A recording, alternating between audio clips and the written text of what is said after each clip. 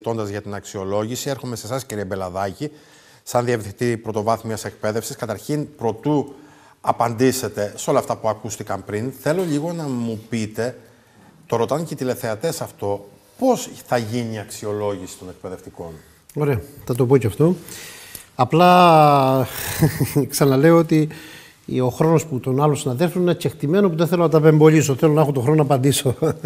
λοιπόν, ε, να πω λοιπόν ότι έχουμε τρεις πυλώνες να αξιολόγηση. Ο πρώτος πυλώνας είναι η αξιολόγηση σχολικής μονάδας και η αξιολόγηση του εκπαιδευτικού έργου. Οι εκπαιδευτικοί του σχολείου θέτουν τους στόχους τους και αξιολογούν τον τρόπο που επιτεύχθηκαν αυτοί οι στόχοι. Αυτός είναι λοιπόν ο πρώτο κύκλος, ο πρώτος πυλώνας. Ο δεύτερος πυλώνας είναι η αξιολόγηση του εκπαιδευτικού συστήματος, αυτό που λέμε ελληνική πίζα. Σε, αυτό το, σε αυτό το δεύτερο πυλώνα έχουμε μαθητές της έκτης τάξης ε, δημοτικού και της τρίτης τάξης γυμνασίου να δίνουν εξετάσεις. Στις 18 Μαΐου του 2022 ήταν η πρώτη φορά που έδωσαν. Α, συμμετείχαν 11.411 μαθητές για να αξιολογήσουμε σε ποιο βαθμό το ελληνικό εκπαιδευτικό σύστημα πετυχαίνει τους στόχους που έχουν τεθεί Αυτό έγινε τους διεθνείς... Βεβαίως. Στις 18 Μαΐου του 2022... Εγώ πρώτη φορά το ακούω. Ε, εγώ, εγώ, εγώ θυμάμαι τότε και είχε γίνει σχόλιο στα μέσα ενημέρωσης και με είχαν καλέσει να σχολιάσω και το mm-hmm. γεγονός αυτό. Είχαμε από δύο-τρία. στο τέλος της σχολική χρονιάς της ναι, περσινής. Ναι, ναι, το... ε, έγιναν. 18 Μαΐου του 2022 σε, σχολεία, σε 554 σχολεία επιλεγμένα σε όλη την Ελλάδα έτσι ώστε να καλύβει όλο, όλη τη διαστρωμάτωση, δηλαδή σχολεία πόλεως, σχολεία μονοθέσια, πολυθέσια, mm-hmm. υπαίθρου αστικών κέντρων. 11.411 ε, μαθητέ, ε, έκτη δημοτικού για τα δημοτικά και τρίτη γυμνασίου για τα γυμνάσια. Για να δούμε λοιπόν το ελληνικό εκπαιδευτικό σύστημα σε ποια θέση βρίσκεται σε σχέση με τα άλλα εκπαιδευτικά συστήματα της Ευρώπης. Και ο τρίτος πυλώνας είναι η ατομική αξιολόγηση των εκπαιδευτικών. Η οποία, από ό,τι τουλάχιστον λέει το Υπουργείο Παιδείας, είναι αυτό που θα ξεκινήσει τώρα. Πάμε τώρα να δούμε πώς θα γίνει αυτή η αξιολόγηση των εκπαιδευτικών. Σε αυτή την αξιολόγηση έχουμε, ε, αξιολογείται το διδακτικό παιδαγωγικό έργο του εκπαιδευτικού, αλλά αξιολογείται και η υπηρεσιακή συνέπεια και η επάρκεια του εκπαιδευτικού. Το διδακτικό και παιδαγωγικό έργο αξιολογείται από δύο ξεχωριστά, συνολικά τα πρόσωπα που αξιολογούν είναι τρία. Δύο είναι τα πρόσωπα που αξιολογούν το διδακτικό και παιδαγωγικό έργο. Έχουμε το Σχολικό Σύμβουλο Επιστημονικής Ευθύνης, το Σύμβουλο Εκπαίδευσης Επιστημονικής Ευθύνης, που είναι ο, σύλλογος, ο σύμβουλος που θα αξιολογήσει το φυσικό, τον μαθηματικό, τον φιλόλογο, τον δάσκαλο, τον υπηαγωγό. Ανάλογα θα, δηλαδή ο, ο... θα παρακολουθήσει τη διδασκαλία του, θα έρθει σε επαφή πρώτα μαζί του, θα υπάρχει. Μισό λεπτό. Δηλαδή, ε, αν εγώ είμαι ο σύμβουλος, θα μπω στην αίθουσα της κυρία Παχή την ώρα που θα κάνει αρχαία ελληνικά θα και θα παρακολουθώ σε... έρχεται αρχαία ελληνικά. Ο σύμβουλος εκπαίδευση. Θα βαθμολογήσω ναι. μετά. Έρχεται, δεν πρόκειται να μπει. Έρχεται σε επαφή. Έρχεται... ο σύμβουλος εκπαίδευσης έρχεται σε επαφή με τον εκπαιδευτικό και κάνουν μία, α, θέτουν το, το, χρονοδιάγραμμα που θα ακολουθήσουν για να μπορέσουν να γίνει αυτή η αξιολόγηση. Προγραμματίζουν λοιπόν σε ώρα που και ο εκπαιδευτικός και ο σύμβουλος συμφωνήσουν ε, να παρακολουθήσει μία, μία διδασκαλία.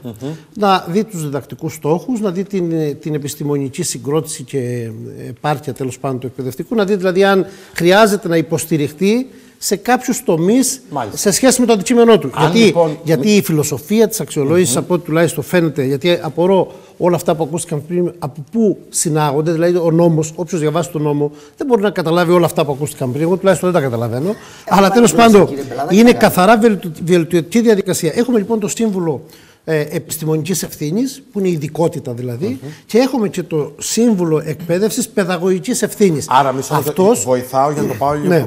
πιο γρήγορα. Ε, αν αυτή τη στιγμή ε, ένα, ε, ο, ο επιστημονικός σύμβουλος κρίνει ε, έναν εκπαιδευτικό ότι είναι ανεπαρκής. Ναι, ο εκπαιδευτικός αυτό θα μπει σε μια συμπληρωματική ας πούμε, Έτσι, μετεκπαίδευση. Είναι υποχρεωμένος να παρακολουθήσει κάποια σεμινάρια επιστημονικά υποστηρικτικά για το, για το κομμάτι της ειδικότητάς του. Άρα, αν εμείς όλοι εδώ είμαστε οι εκπαιδευτικοί, θα πω παράδειγμα το Καπετανάκιο που είναι σχολείο στο οποίο υπηρετεί η κυρία Σπαχή, ε, έχουμε αρνητική αν θέλετε, βαθμολογία, αμέσως, αμέσως ρίχνουμε και το επίπεδο ας πούμε, του σχολείου στο οποίο να υπηρετούμε, λίγο, διδάσκουμε. Να, να σας πω. θα ολοκληρώσω λίγο το, την όλη διαδικασία για να καταλάβετε. Ε, εκτός λοιπόν το σύμβουλο ε, επιστημονικής ευθύνης, έρχεται και ο Σύλλογος Παιδαγωγικής Ευθύνης που και αυτός παρακολουθεί το κομμάτι το δικό του. Δηλαδή, πόσο ο άνθρωπος αυτός στέκεται παιδαγωγικά, α, είναι ε, ανεκτικός με, με, το διαφορετικό, με τις ιδιαιτερότητες του κάθε μαθητή, με τις ειδικές εκπαιδευτικές ανάγκες που έχει ανάγκη ο μαθητής μετά από αυτούς τους δύο, οι οποίοι συντάσσουν κοινή έκθεση και αξιολογούν τον εκπαιδευτικό, έρχομαι το διευθυντή του σχολείου, ο οποίος κοιτάζει, ε, ελέγχει την υπηρεσιακή συνέπεια και επάρκεια του εκπαιδευτικού. Τι είναι η υπηρεσιακή συνέπεια, υπηρεσιακή δηλαδή, συνέπεια, δηλαδή ένας, ένας εκπαιδευτικός ο οποίος μπορεί να μην έρχεται στην ώρα του, ο οποίος μπορεί να μην ε, τεκμηριώνει επαρκώς ε, μια α, έκθεση, την οποία, μια αξιολόγηση την οποία μπορεί να κάνει σε ένα μαθητή, ο οποίος είναι. Μπαίνει είναι... μέσα και το κομμάτι ας πούμε, της συμπεριφοράς απέναντι όλο στους αυτό, μαθητές. Όλο αυτό, όλο αυτό. Και, και απέναντι στους μαθητές, και απέναντι στην υπηρεσία, και απέναντι στους συναδέλφους, και απέναντι στους γονείς. Δηλαδή, η, η, η, ο εκπαιδευτικός έχει ένα σύνολο ε, πραγμάτων που θα πρέπει. Ε, δηλαδή, δεν μπορεί ένας εκπαιδευτικός ο οποίος είναι αριστικός με τους γονείς, ο οποίος δεν ενημερώνει, ο οποίος δεν δέχεται ας πούμε, ένα γονέα να τον ενημερώσει για την πρόοδο του παιδιού του, ο οποίος ε, τέλος πάντων δεν αντιδρά έτσι όπως πρέπει να αντιδρά, Υπάρχουν όλα αυτά συνεκτιμούνται. Ενδεχομένως. Ενδεχομένως. Ενδεχομένως. Όλα αυτά του. λοιπόν οφείλει ο διευθυντή του σχολείου mm -hmm. να τα δει και να τα αξιολογήσει. Στις περιπτώσεις λοιπόν αυτές υπάρχει τεκμηρίωση της όποιας αξιολόγησης, υπάρχει δυνατότητα ένστασης και εφόσον καταλήξουμε ότι κάποιος εκπαιδευτικός δεν είναι, γιατί η αξιολόγηση είναι, ε, έχει κάποιους χαρακτηρισμούς, ε, έτσι, ε, επαρκής, δεν είναι επαρκής ε, στο βαθμό που πρέπει να είναι, συντάσσεται ένα πρόγραμμα από όλους αυτούς που αναφέρα πριν, δηλαδή τα, τα τρία στελέχη που αξιολογούν, και ξεκινάει μια διαδικασία ενίσχυσης του εκπαιδευτικού, βελτίωσης της προσ... Προσπαθούμε δηλαδή αυτό τον εκπαιδευτικό εκεί που, Κύριε εκεί που δυσκολεύεται να τον διευκολύνουμε και να τον κάνουμε είναι καλύτερο. Και εγώ προσωπικά φαντάζομαι και πολλοί τηλεθεατές που μας παρακολουθούν ακούν για πρώτη φορά το πώς είναι το μοντέλο αυτής της αξιολόγησης. Εγώ θέλω να το πάω με εγώ παράδειγμα. Δεν διαφωνώ. Μισό λεπτό. Αν εγώ λοιπόν είμαι ένας εκπαιδευτικός και κρυθώ ανεπαρκής. Ε, ανεπαρκής, αν το μάθουν οι μαθητές μου ή οι γονείς των μαθητών, σημαίνει ότι δεν είμαι ικανός να είμαι μέσα στην σχολική αίθουσα και να διδάσκω στα παιδιά. Την ίδια στιγμή, αν μετακινηθώ σε ένα άλλο σχολείο που δεν έχει ας πούμε, το επίπεδο ενός άλλου Μα σχολείου. δεν προβλέπεται αυτό από τη διαδικασία. Ναι, γιατί εγώ προβλέπεται. Ακούστε, ακούστε, ακούστε. Δεν προβλέπεται δεν από καμιά διαδικασία άμεσα. ότι θα παίρνουμε τον εκπαιδευτικό την τάξη και θα το λέμε δεν κάνεις αυτό το σχολείο, κάνεις για εκείνο. Αυτά είναι στη σφαίρα της επιστημονικής φαντασίας. Εγώ θεωρώ ότι οι εκπαιδευτικοί εκείνοι που μπορεί να υπάρχουν, για φανταστείτε το, την πιθανότητα να υπάρχουν και να μην ε, ασχολήθηκε ποτέ κανείς να δει αν έχουν ανάγκη αυτοί οι άνθρωποι.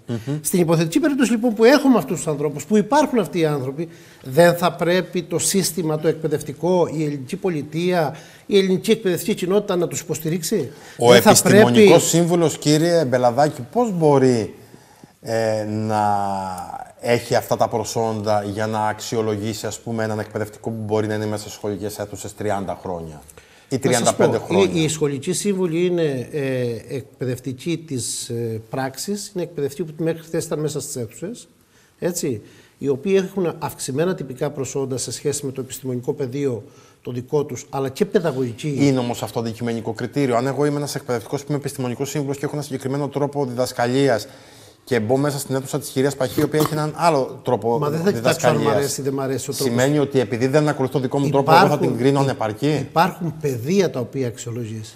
Υπάρχουν δηλαδή ε, το έντυπο το οποίο θα έχει μπροστά mm-hmm. του εκπαιδευτικός που θα κοιτάζει το κάθε πεδίο υποκειμενική κρίση. Έτσι, δεν είναι υποκειμενική, είναι, είναι κρίση που βασίζεται σε κάποιες αρχές. Σε κάποιες αρχές. Από εκεί και πέρα, να σας πω, κάτι, να σας πω κάτι. Εγώ δέχομαι mm. ότι ενδεχομένως το όποιο σύστημα αξιολόγησης ε, μπορεί να έχει και κάποια τροτά σημεία. Μπορεί να έχει κάποια σημεία που επιδέχονται βελτίωση. Εάν δεν ξεκινήσουμε επιτέλους μετά από 40 χρόνια να, να μιλάμε για αξιολόγηση ή να, να, να γίνεται η αξιολόγηση θα μπορέσει ποτέ το σύστημα αυτό να βελτιωθεί. Εγώ άκουσα πριν από λίγο ότι το πρότυπο της Ομοσπονδίας μας είναι το σύστημα Γαβρόγλου. Είναι το σύστημα Γαβρόγλου, δηλαδή μιλάμε τώρα σοβαρά. Ένα σύστημα, ήρθε, ήρθε η περίοδος Γαβρόγλου, θα πρέπει να θυμίσουμε στους ακροατές μας, ότι ήταν η περίοδος εκείνη που τα στελέχη εκπαίδευση των διευθυντές σχολείων στείλανε στα σχολεία λαϊκά δικαστήρια και τους ψηφίζανε. Δεν κοιτάζαν αν έχει τυπικά προσόντα, δεν κοιτάζαν αν έχει μετεκπαίδευση, επιμόρφωση, διοικητική επάρκεια. Αλλά τους ψηφίζανε αυτά. Γινόταν οι αρεστοί. Αυτό λοιπόν, αυτό λοιπόν το σύστημα είναι το πρότυπο τη Ομοσπονδία για την αξιολόγηση. Αν είναι δυνατόν.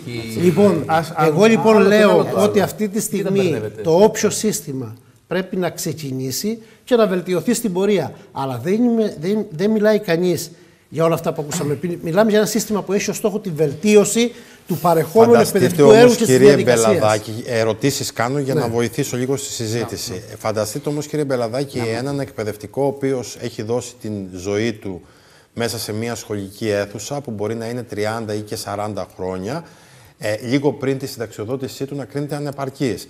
Ε, νομίζω, αυτή είναι η προσωπική μου άποψη, ότι η αξιολόγηση από έναν επιστημονικό σύμβουλο ή από πέντε επιστημονικούς σύμβουλους ή από 200, είναι, θα συμφωνήσω λίγο με τους συναδέλφους σας, είναι μια υποκειμενική διαδικασία. Εάν στηρίζεται σε συγκεκριμένα πράγματα τα οποία ελέγχεις και τσεκάρεις, δηλαδή ας πούμε να ελέγξεις, να δεις αν υπάρχει μια αντίστοιχη επιστημονικής συγκρότησης, αν α, ο τρόπος διδασκαλίας Είναι επιστημονικό αυτό που λέει ο κ. Βλαδάκη τώρα, γιατί εγώ επικαλούμε την μια επιστημονική αρχή. Μισό λεπτό. Με ποια τελειώσω, επιστημονική να βάση. Δεν διέκοψα, Όχι, ερώτημα υποβάλλω. Να τελειώσω. Όχι, μα δεν δέχομαι να επιβάλλετε. Ναι. Αυτό δεν έχω ολοκληρώσει.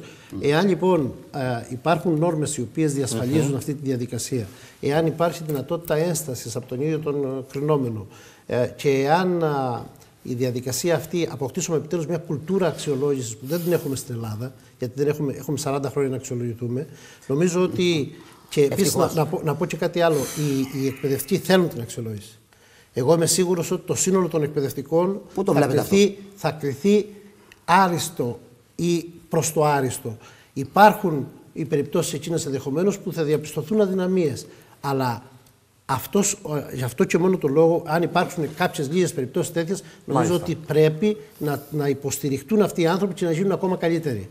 Έτσι. Δεν νομίζω ότι κάποιος εκπαιδευτικός ή εκπαιδευτικοί φοβούνται την αξιολόγηση. Κακώς έχει βγει αυτή Όχι, η εικόνα. Όχι, η κυβέρνηση φοβάται την επιστημοσύνη τους. Όχι, το αντίστροφο σημαίνει. Τώρα, αυτό είναι υποκειμενική. Έτσι, βεβαίως δεν φοβούνται. Κανένας εκπαιδευτικός δεν φοβάται την αξιολόγηση. Οι εκπαιδευτικοί θέλουν την αξιολόγηση, θέλουν να ξέρουν ότι ναι, πατάω στα πόδια μου, στέκομαι έτσι όπως πρέπει. Πού το στηρίζετε, κύριε απέναντι στους μαθητές μου. Έχετε και κάποια απόφαση Ομοσπονδίας που να λέει ότι θέλει αξιολόγηση; Δεν εκπροσωπώ την Ομοσπονδία. Ωραία, πού το στηρίζετε όμως, κάποια, κάποια λοιπόν, πρέπει Σε κάθε περίπτωση λοιπόν θεωρώ ότι η αξιολόγηση είναι κάτι που πρέπει να ξεκινήσει. Η ελληνική κοινωνία και θα πρέπει να, να πούμε μια βασική αρχή του συνδικαλιστικού κινήματος είναι να έχει με το μέρος του την ελληνική κοινωνία. Αυτή τη στιγμή η ελληνική κοινωνία δεν νομίζω ότι συμμερίζεται όλες αυτές τις απόψεις και όλο αυτό το εφιαλτικό σενάριο περί κατηγοριοποίησης. Θεωρώ ότι η ελληνική κοινωνία τη θέλει να αξιολογήσει, θέλει να ξέρει σας. ότι οι εκπαιδευτικοί που έχουν τα παιδιά τους είναι εκπαιδευτικοί που πληρούν προποθέσει, που πληρούν τα στάνταρ που πρέπει να πληρούν, που με βάση την ελληνική πίζα στέκονται στο επίπεδο που πρέπει να στέκεται το ΟΣΑ την υποδεικνύει τη βίζα, κύριε Μπελαδάκη. Ε, Δυστυχώς είμαστε μέρος μιας παγκοσμιοποιημένη κοινωνίας και είναι πρέπει λοιπόν ο κριτής της ποιότητας της παιδείας που θέλετε Έτσι. να δώσετε. Ωραία. Λοιπόν, α, και Έχουμε νομίζω ότι θα πρέπει επιτέλους να ξεκινήσει ακόμα και με κάποιες ε, περι, περιπτώσεις που πρέπει να διορθωθούν. Όλοι έχουμε κάποια σχόλια. Πολύ γρήγορα. Πολύ γρήγορα. Καταρχάς, η, δεν υπάρχει μετρήσιμο κριτήριο σε ό,τι αφορά τη συγκρότηση που είπε ο κύριος Μπελαδάκης, ότι θα έχουμε μία παράσταση ενός συμβούλου που δεν είναι σύμβουλος, είναι επιθεωρητής και μέσω αυτής της παράστασης θα μπορέσει να πάρει επιστημονικά κριτήρια για την συγκρότηση, την επιστημοσύνη και τη δυνατότητά του. Είναι πιθαναγκασμό, έλεγχος και ανελευθερία. Ε, Εσείς κύριε Πασχή, αξιολογείτε τους μαθητές. Ε, εγώ αξιολογούμε κάθε μέρα και από τους μαθητές μου. Όμως. Μα μισό λεπτό, γιατί όπως και εσείς, κρατάτε το προνόμιο σας να αξιολογείτε εσείς το μαθητή, όπως και αλλά όλοι δεν είστε στην αξιολογητή. Οι συνάδελφοί μου αξιολογούνται από το πρωί μέχρι το βράδυ από τους μαθητές τους. Διότι έχουμε 25-30 παιδιά δυστυχώς τόσα πολλά από τη στην τάξη λοιπόν... μέσα και δεν μπορούμε να κάνουμε κιχ είτε επιστημονικά, είτε διδακτικά, είτε συναισθηματικά, είτε ψυχολογικά, γιατί κρινόμαστε. Άρα, Άρα κατά μία έννοια, είμαστε οι μόνοι που κρινόμαστε και οι πλέον εκτεθειμένοι. Εγώ μιλάω για αυτό που λέτε εσείς. Μετά από 41 χρόνια αντίστασης, λέτε τον, το μεσαιωνικό μέτρο του επιθεωρητισμού. Είπε κανείς για μεσαιωνικό μέτρο του επιθεωρητισμού. Εγώ το λέω. Επιστρέφει. Ε, είναι, επιστρέφει, ε, ε, επιστρέφει μετά από 41 χρόνια. Μετά από 41 χρόνια επιχαίρει η, κυρία Κεραμέως γιατί επιστρέφει ο επιθεωρητής. Εμείς λέμε ότι αυτό το αντιδραστικό, το μαύρο μέτρο, γιατί τέτοιο είναι το ανελεύθερο, Ευτυχώς αντισταθήκαμε. Και αυτή είναι η μέγιστη απόδειξη. Ότι τα μέτρα αυτά δεν έχουν αποδοχή. Διότι εμείς Είμαστε τώρα συνδικαλιστές, αλλά εκπροσωπούμε μια βάση. Η κοινωνία έχει καταλάβει ότι η παράσταση είναι για συγκάλυψη των Μάλιστα. ευθυνών της κυβέρνησης. Δώστε λεφτά για την παιδεία, δώστε εκπαιδευτικούς, δώστε κτίρια που δεν έχουμε, δώστε, μονιμοποιήστε τους εκπαιδευτικούς και τότε θα καλύψετε τις ανάγκες της παιδείας. Πολύ λοιπόν, γρήγορα. Ναι, ναι, ναι. Ε, Καταρχάς, προς τον κύριο Μπελαδάκη, δύο πράγματα. Το γεγονός ότι δεν γνωρίζει τις θέσεις της Διδασκαλική Ομοσπονδίας δεν είναι δικό μας ζήτημα, δεν είναι θέση της Ομοσπονδίας. Είναι πρόβλημα προφανώς και η ερμηνεία η οποία κάνει. Προφανώς η θέση 88η Γενική Συνέλευση του Κλάδου, προφανώς η 88η Γενική Συνέλευση του Κλάδου είναι σαφέστατη και αναφέρει πολύ χαρακτηριστικά την, την, τη μορφή αξιολόγησης που ναι, ήταν στο πλαίσιο της εσωτερικής διαδικασίας προγραμματισμού και αποτίμησης του εκπαιδευτικού έργου και κάναμε τρεις κρίσιμες, αλλά κάναμε συγκεκριμένες παρατηρήσεις οι οποίες δεν είχαν αποδεχτεί από την προηγούμενη κυβέρνηση, δεν δέχτηκε το σύνολο του νομοθετικού πλαισίου η κυβέρνηση σήμερα και δεν προχώρησε. Ένα. Δεύτερον, προφανώς την ερμηνεία, το τι θέλει η κοινωνία δεν το κάνει ούτε ο κ. Μπελαδάκης ούτε εμείς. Δεν την κάνουμε εμείς την ερμηνεία. Η κοινωνία εκφράζεται και εκφράζεται με διάφορους τρόπους εκφράζεται μέσα από, τις, από τον τρόπο που έχει να εκφραστεί και μέσα ακόμα και από τις κινηματικές διαδικασίες όταν υπάρχουν τέτοιες διαδικασίες και φυσικά εδώ ερχόμαστε και στο διατάφτα.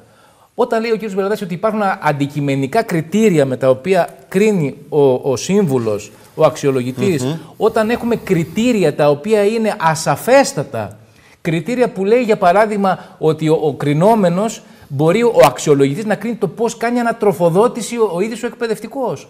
Όταν, για παράδειγμα, το οτιδήποτε μπορεί να το στοιχειοθετήσει στην έκθεση του αξιολογητής.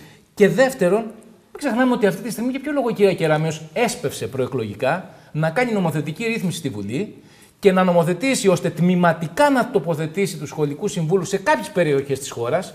Και έχουμε τέσσερις περιοχές της χώρας όπου ξεκινάει η διαδικασία αυτή, άνθρωποι οι οποίοι ήταν συνάδελφοί μας χθες, σήμερα, αύριο, θα κληθούν να μπουν σε μια διαδικασία να αξιολογήσουν χωρίς να έχουν οι ίδιοι επιμορφωθεί, χωρίς οι ίδιοι να έχουν τα εργαλεία για να μπορέσουν να μπουν σε αυτή τη διαδικασία.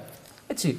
Και φυσικά χωρίς να υπάρχει κανένα πλαίσιο επιμόρφωσης. Πού είναι η επιμόρφωση; Γιατί στόχος υποτίθεται μιας αξιολόγησης είναι η βελτίωση του παρεχόμενου. Εμείς δεν βλέπουμε καμία τέτοια διαδικασία. Κύριε Μακράκη. Ε, από, για χάρη του λόγου θα πω ότι παραδείγματος χάρη συμφωνώ με αυτή την αξιολόγηση που προ, προωθεί το Υπουργείο Παιδείας και θα, θα καταλάβετε το σκεπτικό μου. Ε, πραγματικά και σε αυτό το κομμάτι η κυρία Κεραμέως φέρεται τελείως επικοινωνιακά. Δηλαδή προσπαθεί να περάσει προς την κοινωνία που λέει και ο κύριος Μπελαδάκης ότι κάνουν αξιολόγηση στην εκπαίδευση, στις σχολικές μονάδες, στο εκπαιδευτικό προσωπικό, αλλά να δούμε πώς την κάνει αυτή την αξιολόγηση. Γιατί ωραίο ήταν το θεωρητικό περιεχόμενο που ανέπτυξε ο κύριος Μπελαδάκης, πάμε στο πρακτικό κομμάτι.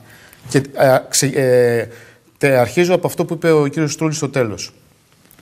Α, μέχρι χθες αυτοί οι συνάδελφοι που έγιναν σχολικοί σύμβουλοι, σήμερα, ε, περνάνε μια fast track, fast track διαδικασία επιμόρφωσης ταχύρυθμη, δύο-τριών ωρών, ε, χωρίς να έχουν εικόνα. Το πιο προσωπικό έχουν υπό την εποπτεία τους ποιες παραμέτρους μορφωτικές κοινωνικές υπάρχουν στις σχολικές κοινότητες. Ανωτελεία. Ε, αυτή η σχολική επιστημονική σύμβουλη θα είναι σε κάθε νομό. Θα είναι Ανανομό. Σε κάθε... Ανανομό. Ανανομό. Γι' αυτό αυτή η συνάδελφοι. Γινόταν λοιπόν, παλαιότερα στα ναι, δημοτικά σχολεία. Αυτοί οι συνάδελφοι έχουν μια ομάδα σχολείων, μια ομάδα ναι, ναι. εκπαιδευτικών και τους καλεί τώρα το Υπουργείο Παιδείας εντός του Φλεβάρι, μέσα σε ένα σύντομο δηλαδή χρονικό διάστημα, να αναλάβουν υπηρεσία, να κάνουν αυτά τα ταχύρυθμα υποτίθεται σεμινάρια, τα οποία πραγματικά δεν θα τους δώσει κάτι είναι μια fast track διαδικασία. Και μέσα στο μήνα το Φλεβάρι, και πάμε στη στόχευση της κατηγοροποίησης των εκπαιδευτικών, εκβιάζει τώρα τους 20.000 νεοδιόρου εκπαιδευτικούς που έχουν περάσει από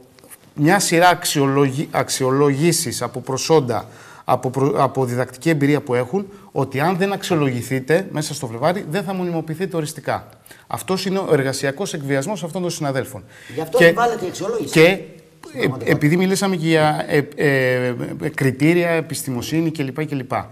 Αυτός λοιπόν ο νέος σύμβουλος, χωρίς να έχει γνωρίσει ε, τον εκπαιδευτικό, χωρίς να έχει επισκεφθεί τα σχολεία, χωρίς να γνωρίζει το μαθητικό δυναμικό, τα ποιοτικά χαρακτηριστικά της εκάστοτε σχολικής κοινότητας, πρέπει καλείται μέσα στο Φλεβάρι ο σύμβουλος να αξιολογήσει σε σύντομο χρονικό διάστημα αυτούς τους συναδέλφους. Άρα για ποια αξιολόγηση και επί της ουσίας μιλάμε, παίρνοντας ε, το σκεπτικό ότι εγώ συμφωνώ παραδείγματος χάρη. Θέλω να το κλείσουμε εδώ πέρα γιατί θέλω να